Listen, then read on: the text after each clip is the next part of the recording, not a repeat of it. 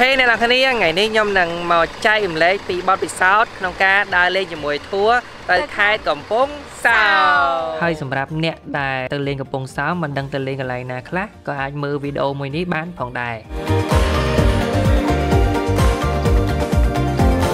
សម្រាប់ការជុំគ្នាគេជុំគ្នានៅពេទ្យកុមារជាតិនៅម៉ោង5ហើយប្រហែលជាខ្ទង់ម៉ោង5ជាងទើបគេចេញដំណើរ ហើយប្រហែលជាម៉ោង7ជាង គេឈប់ឲ្យយើងសោះស្រូបអាហារពេលព្រឹកបន្ទាប់មកយើងក៏បន្តដំណើរទៅមុខទៀតឡើងទៅផ្លូវលបឿនលឿនផ្លូវលបឿនលឿននេះជិះប្រហែលជាខ្ទង់2ម៉ោង40នាទីអីទេ សំខាន់មានទេសភាពស្អាតស្អាតមើលតាមផ្លូវទៅរហូតមកញ៉ាំមកគេបងប្រុសបងស្រីក៏រកលពូណាមីងទៅសោះស្រូបអាហារ ពេលថ្ងៃត្រង់នៅម្ដុំឆ្នេរអូឈើទាលបន្ទាប់ពីជិះបានប្រហែលជា1ម៉ោងជាង គេក៏ឈប់នៅចំណតផ្លូវលបឿនលឿនហ្នឹងដើម្បីសម្រាប់ចូលបន្ទប់ទឹកហើយក៏យើងអាចឆ្លៀតឱកាសថតរូបលេងកម្សាន្តបានផងដែរទីទីទីទីទី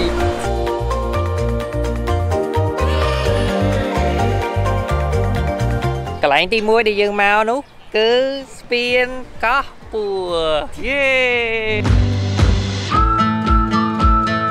នៅស្ពានកោះពួរនេះគេតែងតែបើកឲ្យភ្ញៀវទេសចរចូលលេងនៅថ្ងៃអាទិត្យហើយនៅថ្ងៃបុណ្យជាតិនៅលើស្ពានកោះពោះនេះយើងអាចមើលឃើញនៅឆ្នេរសមុទ្រឃើញនៅកោះឃើញនៅគេគូសពោះនៅទីក្រុង នៅលើស្ពាននេះខាងធួគេទុកពេលឲ្យយើងប្រហែលជា20នាទីសម្រាប់ការដើរលេងកម្សាន្តហើយនឹងថតរូបទុកជាអនុស្សាវរីយ៍បន្ទាប់មកទៀតយើងទៅត្រឡប់មកឡានក្រុងវិញអូខេកន្លែងទី2នេះគឺយើងមកដល់ឆ្នេរឯករាជ្យយេអញ្ចឹងឥឡូវយើងទៅដើរនៅលើស្ពានទាំងអស់គ្នា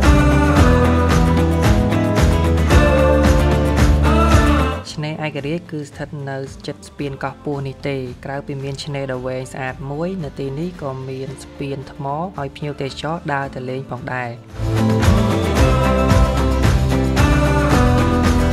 យើងក៏ត្រូវឈប់នៅទីនេះលេងកម្សាន្តប្រហែលជា20នាទីដូចគ្នា អូខេអ្នកនរគ្នាឥឡូវយើងបានមកដល់ទីតាំងទី3គឺឆ្នេរអូឈើទៀលឥឡូវមក3ថ្ងៃហើយមានអារម្មណ៍ថាឃ្លានណាតែឥឡូវយើងទៅញ៉ាំបង្អែមទាំងអស់គ្នាថាមានរសជាតិមិនខ្លះតោះ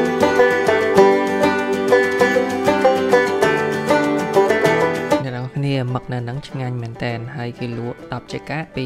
15000ទៅ20000នេះទេទៅតាមប្រភេទមឹកធំតូចអញ្ចឹងហើយសម្រាប់ការអង្គុយវិញកាតេលហ្នឹងគេគិតមកកាតេល10000តែបើសិនជាយើងទិញម្ហូបអាហារគេញ៉ាំអញ្ចឹងគេអត់គិតជួលកាតេលទេ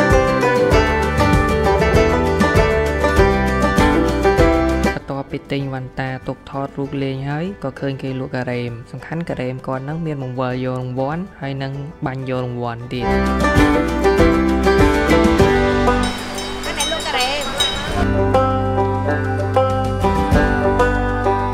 នៅឆ្នេរអូឈើទៀលនេះខាងធូគេទុកពេលឲ្យយើងសម្រាកលេងនៅនឹងរយៈពេល2ម៉ោងអញ្ចឹងពីរអ្នកខ្ញុំដើរលេងនៅតាមឆ្នេរហ្នឹងមើលគេមើលឯងទៅវិញទៅមកឡើងពី3ជុំ នៅឆ្នេរហ្នឹងយើងអាចមុជទឹកលេងកំសាន្តបាន វាមានកន្លែងជួលពងជួលម៉ូតូទឹកហើយខ្ញុំឃើញមានគេម៉ាស្សាជើងនៅឆ្នេរនឹងទៀតម៉ោង40000ម៉ោង40000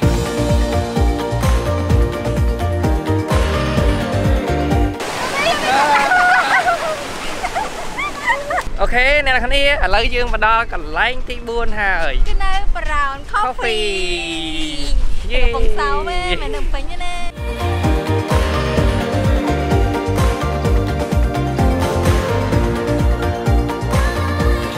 ឡូវយើងឡើងទៅខាងលើមើលទេសភាពសមុទ្រពីលើ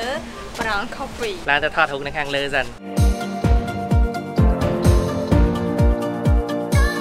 នៅប្រៅនេះគឺមានមនុស្សច្រើនខ្លាំងមែនតែនហើយខ្ញុំសរសើរហាងប្រៅនឹងហ្មងលេខគាល់មកគឺស្អាតខ្លាំងមែនតែនហើយនៅជាប់មាត់សមុទ្រអញ្ចឹងទៀតទៀតយើងទៅកន្លែងពិសេសមួយទៀតអញ្ចឹងចាប់ឡើងថានៅណាតោះយើងទៅទាំងអស់គ្នាចិត្តប្រៅហ្នឹងណាក៏មានដើមឈើហើយមានស្ពានឈើដែរហើយមានគេលក់អីញ៉ាំឥឡូវយើងទៅស្ពានឈើហ្នឹងទាំងអស់គ្នាស្ពានមួយនេះគឺមិនវែងប៉ុន្មានទេយើងអាចដើរទៅលេងមើលទឹកសមុទ្រស្រូបយកខ្យល់អាកាសហើយសម្រាកនៅទីនោះបាន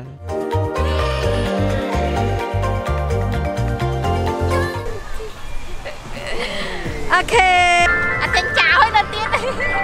ឥឡូវពីរអ្នកខ្ញុំបានដើរចេញពីស្ពាននៅចិត្តប្រៅនឹងមកវិញហើយឃើញគេលក់ការ៉េមទំនងក៏ចូលទៅទិញញ៉ាំព្រោះមេកំពុងតែក្តៅញ៉ាំការ៉េមនៅឆ្នេរសមុទ្រ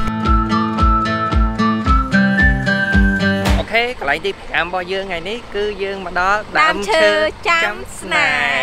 ហ៍ចឹងឥឡូវចង់ដឹងថាណាគេនៅចាំនៅនឹងត និយាយពីថាទៅដល់ទីតាំងណាក៏ដោយក៏មិនភ្លេចអារឿងថតរូបហើយនឹងញ៉ាំនឹងដែរ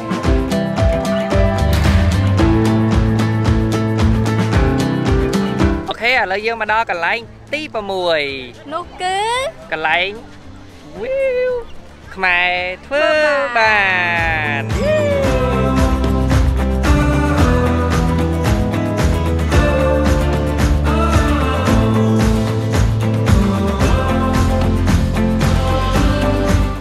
ទីតាំងទី6នោះជាទីតាំងចុងក្រោយរបស់យើង គឺយើងមកកាន់រូបសំណាកព្រះថោងតោងស្បៃនាងនាគ